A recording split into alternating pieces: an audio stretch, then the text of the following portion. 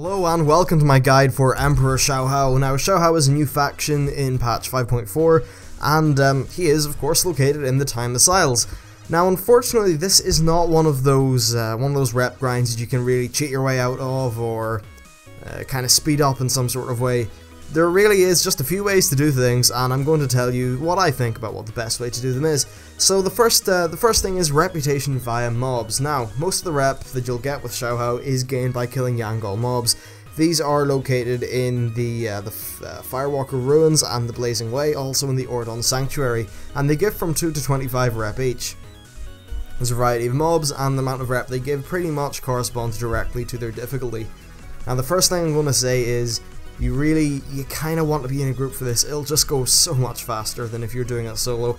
However, if you want to solo it, you are of course able to. The first location that you'll probably run into will be the Firewalker Ruins. Now these are actually very simple in terms of uh, the mobs themselves. The first kind you have is the Candle Makers, or Candle Keepers, whatever, they're Candle Somethings. They're weak, they've only got a few hundred thousand health, like under a million. They're easy to kill, but they only give 5 reputation. You'll also find other mobs there called Oath Guards and Fire Watchers. These are both easily soloable and give 10 rep each. Still, it's it's kind of slow here, but if you're in a group, you'll be able to absolutely slaughter your way through these guys and really get the rep up pretty quick. Now the next place is the Blazing Way. This does have harder mobs. There's Berserkers which deal high damage and have about 3.5 million health. When killed, you will get 15 rep for one of these. Honestly, as opposed to the ones in the Firewalker Ruins, I just don't think they're worth the extra effort.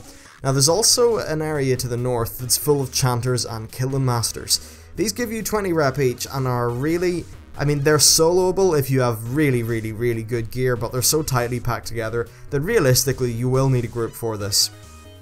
And while they do give 20 rep each, they are that bit harder, and unless you have a group that's even more than 5 people, I, I still think it would be more efficient to just go off um, to the Flamewalker Ruins where the mob density is quite high and just like murder your way through that. Now there's also the Ordon Sanctuary, there's a lot of mobs there that give 25 rep each, but of course they are very powerful and of course to get into the Ordon Sanctuary you need the legendary cloak. So a lot of people won't have that day one and it's not really reasonable to get up there. It's still, I don't think it would be faster even if you could get up there. Now, at an average of 10 rep a kill, it would take 4,200 kills to get Exalted, which is quite a few. However, do remember that if you're in a group, you are getting quite a few kills a minute, especially if you're in the Firewalker Ruins, which is a high mob density, and they have a pretty reasonable respawn rate as well. Now, part 2, Reputation via Quests. So there's a series of quests with Shaohao which will give you rep. The first one is called the Last Emperor. It requires you to talk to him and give 200, and it gives you 250 rep. It's really simple.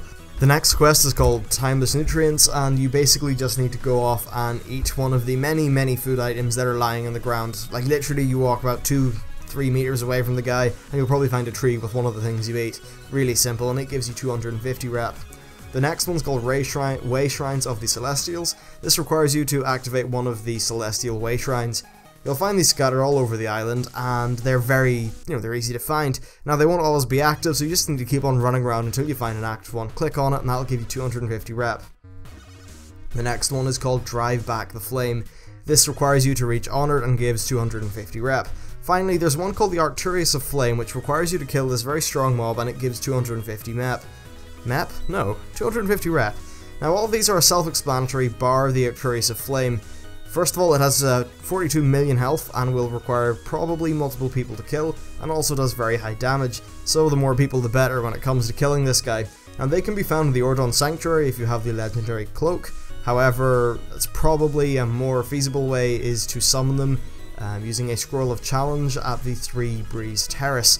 The scroll can be purchased from Mistwalker, Q, or sorry, Mistweaver Ku, and is 500 coins.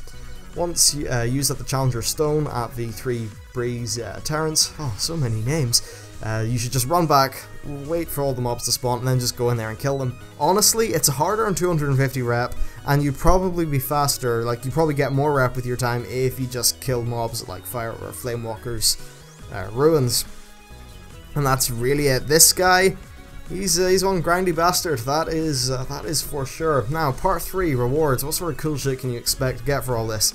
So at friendly, you will get some vanity masks to put on your face. They cost 100 coins each. Not really too much to say here. At honored, you'll be able to buy the scroll of challenge and a pouch of timeless coins.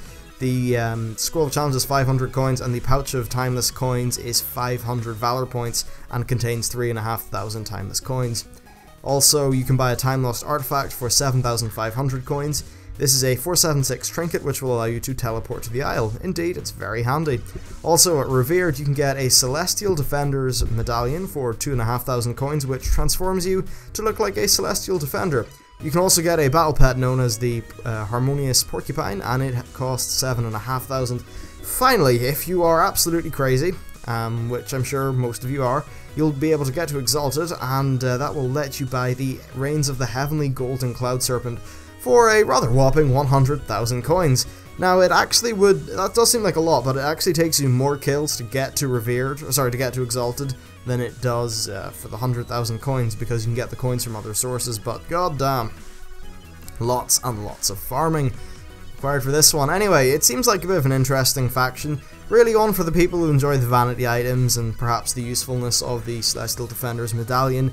So yeah, honestly, my biggest recommendation for this whole thing is to just get a group together, some, you know, some people that are dedicated, want to get that rep, and just blast your way through um, Flamewalker Ruins or something like that. That definitely, in my opinion, and from my PTR experience, seems to be the best way to do it. Even in the PTR, people were forming groups to get up rep.